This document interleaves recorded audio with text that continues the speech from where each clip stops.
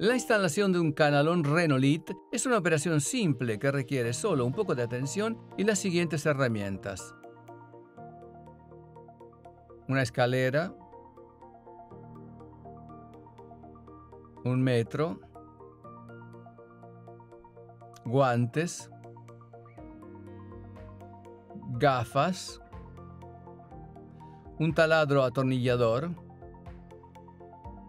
una moladora angular,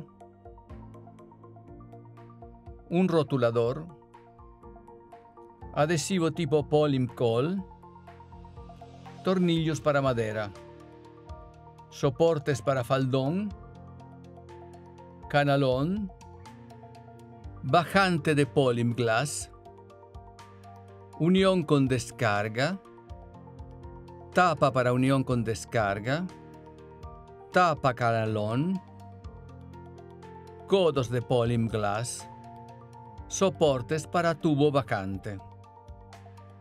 Comenzamos el ensamblaje con el tubo de bajada que tendremos que cortar con una amoladora o con una sierra de calar para metales ligeros, de una longitud desde el suelo hasta el borde inferior de la cubierta, menos aproximadamente 50 centímetros. Luego fijamos el primer soporte de tubo a la pared, a unos 30 centímetros del suelo, reemplazando el tornillo con taco con un tornillo para madera de la longitud adecuada. Tendremos que colocar el segundo soporte teniendo en cuenta el tamaño del tubo elegido inmediatamente debajo de la boca del tubo. Antes de ensamblar el tubo insertamos la curva inferior pegándola con un cordón de polimcol. Luego acercamos el tubo, abrimos los collares, los pasamos alrededor del tubo e insertamos los extremos en las ranuras de soporte del tubo, empujándolos hacia abajo hasta que se enganche el bloqueo. Una vez que los dos collares están bloqueados, colocamos bien el tubo empujándolo hacia abajo. Distribuimos un cordón de sellador dentro de la boquilla, enganchamos la primera curva y repetimos la misma operación en la curva y si es necesario, en la tubería de conexión, hasta que la segunda curva se enganche. Pasamos a la fijación de los soportes en la cubierta por medio de tornillos para madera a partir de 48 centímetros desde el comienzo de la cubierta y con 60 centímetros de intervalo entre un soporte y el otro, tratando de no exceder los 25 centímetros entre el último estribo y el final de la aleta. Recordemos que la fijación de los soportes siempre debe hacerse antes de colocar la cubierta final. Luego insertamos la unión con descarga en la que habremos insertado la tapa de cierre con una gota de sellador.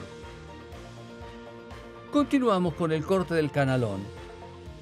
Medimos la distancia entre la unión con descarga y el final de la cubierta y agregamos 10 centímetros al valor total que se utilizará para una conexión segura dentro de la junta. Una vez que se ha marcado la referencia, cortamos con la amoladora angular el canalón.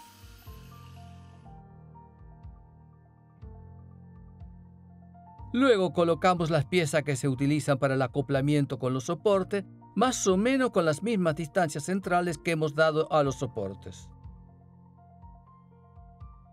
Insertamos el canal en la junta, haciéndolo encajar sin el uso de pegamento y tras haber centrado los soportes, los bloqueamos con las palomillas de ajuste apropiadas. Para completar el ensamblaje, esparcimos una línea de sellador en la tapa del canalón y lo encajamos en el canal.